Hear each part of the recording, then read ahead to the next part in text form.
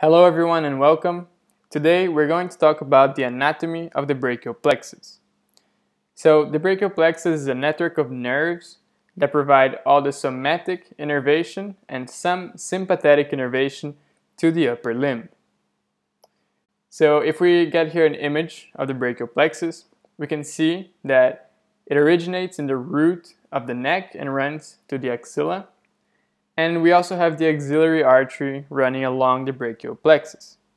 So this image just so you have an idea of where the plexus is located in your body. Now, if we look here at this image, it is very complicated. You see that there is a bunch of nerves coming off of this plexus. Uh, however, we will explain this, break this down, make it much simpler. So, the first thing that we can see is that you can divide the brachial plexus into roots, trunks, divisions, cords, and branches. A good mnemonic to remember these divisions is remember to drink cold beer. So the R in remember is for roots, T for trunks, D for divisions, C for cords, and B for branches, which are terminal branches or could also be called uh, terminal nerves. So now let's focus here on each division. Um, so if you have a look here at the roots, we're going to have the anterior rami of C5, C6, C7, C8, and T1. They're going to form the roots of the brachial plexus. So C5 and C6 are going to come together to form the superior trunk.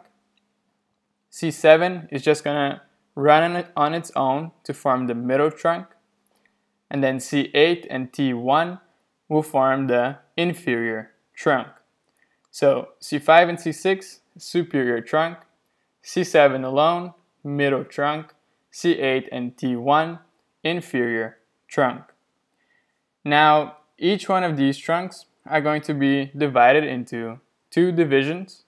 So we're going to have the anterior and the posterior division the anterior shown here in yellow, uh, while the posterior division is shown in brown. And these divisions are going to give rise to cords. So we have the lateral cord, the posterior cord, and the medial cord.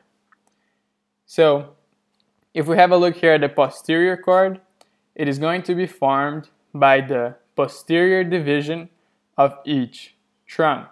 So the superior middle, and inferior trunks are going to give a posterior division that are going to form the posterior cord. Now, the lateral cord is formed by the anterior division of the superior and middle trunks. The medial cord, on the other hand, is just formed by the anterior division of the inferior trunk, just a continuation. Now, these cords are named um, according to their position relative to the brachial artery. So the posterior cord runs posteriorly to the brachial artery, the medial cord medially, and the lateral cord laterally. And from these cords, we're going to have the terminal branches or terminal nerves. In this picture, we have many nerves However, there are a few nerves that we will focus on this video. So, one of these are, is the musculocutaneous nerve, the median nerve, the ulnar nerve, the radial nerve, and the axillary nerve. So if we look here, the brachial plexus has this characteristic M that's very prominent and it is um, a landmark you can find in an anatomical prosection or dissection, and it, it will help you locate the other nerves. So in this M here, uh, remember that the musculocutaneous nerve is the most lateral, it is a branch of the lateral cord. Then you have the median nerve, which is formed by the junction of the lateral cord with the medial cord. And then we have the ulnar nerve coming off of the medial cord. Now, uh, the posterior cord will give off the axillary nerve and the radial nerve. So here we have a little summary of the terminal branches. Have that the musculocutaneous nerve leaving from the lateral cord, the median nerve from the lateral and medial cords, the ulnar nerve from the medial cord, and then the radial and axillary nerves both uh, branch off of the posterior cord. Now here are some questions to make sure you've understood. Uh, feel free to pause the video um, to think of your answer.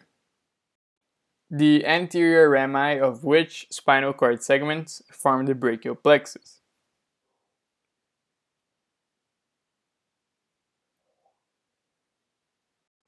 Which spinal cord segments form the superior trunk?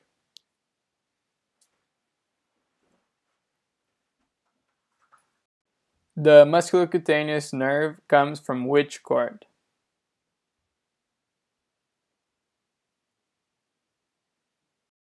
The ulnar nerve comes from which cord?